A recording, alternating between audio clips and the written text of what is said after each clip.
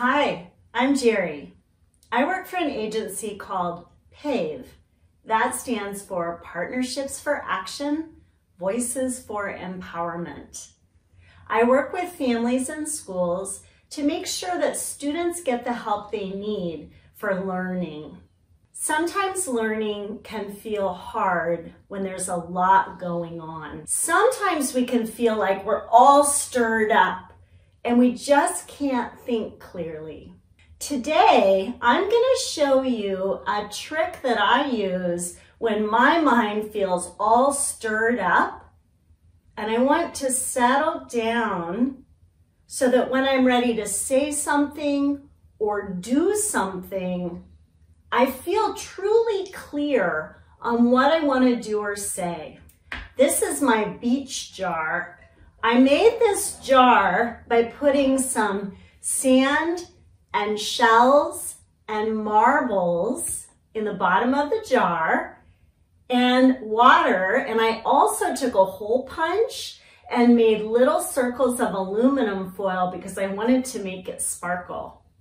I didn't have any glitter in my house, but if you have glitter in your house, you could put some glitter in your homemade snow globe to make it extra sparkly. So before I show you my beach jar, I want to share with you something that I learned from a man who lived more than 2,000 years ago.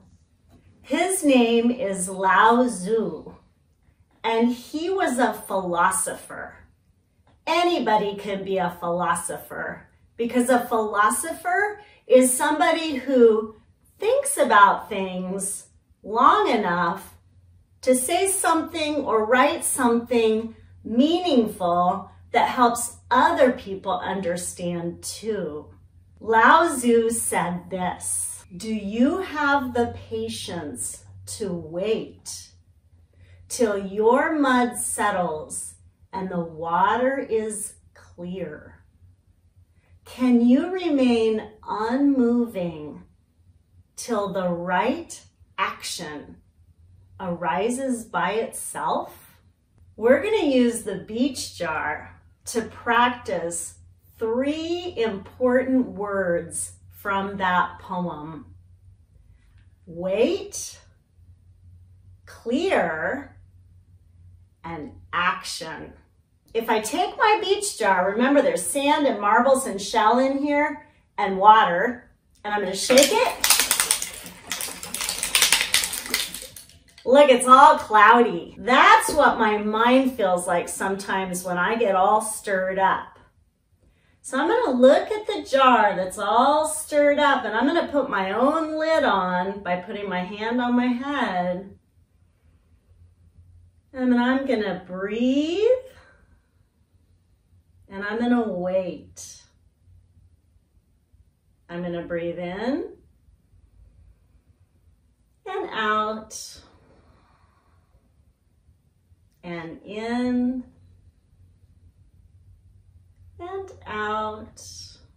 I'm gonna breathe one more time like that. In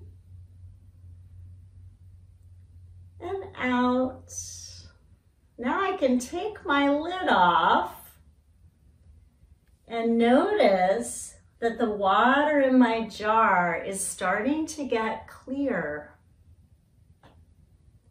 So I wait until there's a clear water.